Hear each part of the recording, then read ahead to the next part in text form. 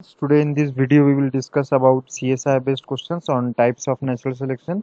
So as I have discussed in my previous video about uh, what is natural selections and type of natural selection. So here just um, I am explaining you in a brief way. So we know that there are three different kinds of uh, natural selection. One is stabilizing, another is direct directional and the third one is disruptive so uh, here we can see a phenotypic distribution of original population. So after the evolutions for stabilizing selection only individual with intermediate phenotypes are selected okay? For directional individual at one extreme int is selected and for disruptive individual at both the extreme ints are selected. So uh, you can uh, watch my mm, other video where I have explained in a very mm, uh, descriptive way. So, uh, so let us discuss about some questions which are asked on this topic. So here is a question: the mean and standard deviation of a body size in Drosophila populations are 8.5 and 2.2 millimeter. Okay, so let us draw a normal phenotypic distribution graph so here we can see that they are saying that the mean is around 8.5 so before any evolution the original populations was having a mean of 8.5 millimeter and the standard deviation was 2.2 okay. So this is the original scenario. Now what happened?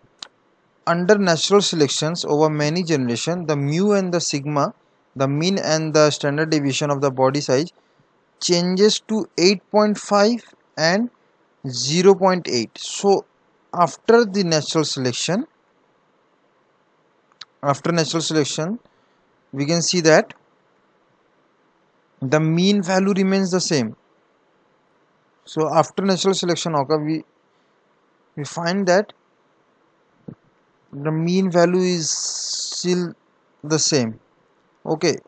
So that means the graph is shifted neither to this end nor to this end. The graph still remains the same.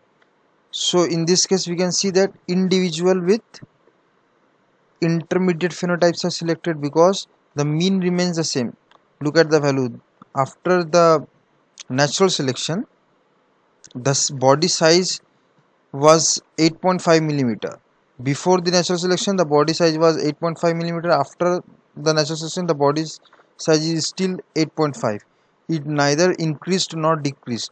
So in both the cases the body size remains same. Okay. So in both the cases favors the intermediate phenotype. So after natural selection we say that it is a stabilizing selection because for stabilizing we know that individual with intermediate phenotypes are selected. Okay? Individual with intermediate phenotypes. Now what would happen if the question said that um, after natural selection the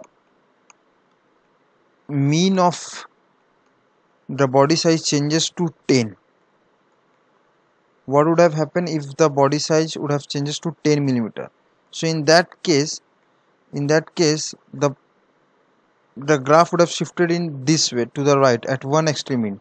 okay so it would have shifted to this one extreme end.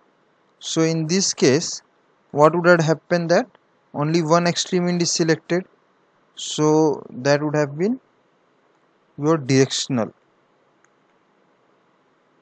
selection okay? So in this question the answer is stabilizing. So for this question the 8.5 millimeter the answer is stabilizing. Let's look at another question. Here is again the graph of the phenotypic distribution of original population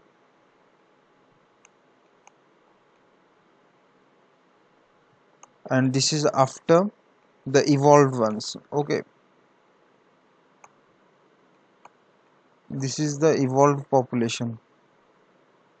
So in this case we can see that the mean values lies around lies between 5 and 6 and in this case also the mean values lies around 5 to 6 so again individual with intermediate phenotypes are selected. Okay. The graph didn't shift neither towards 9 or 10 or neither towards 1 or 2 so again the answer will be stabilizing. Okay. So i hope you guys have understood. So please don't forget to like and subscribe. Thank you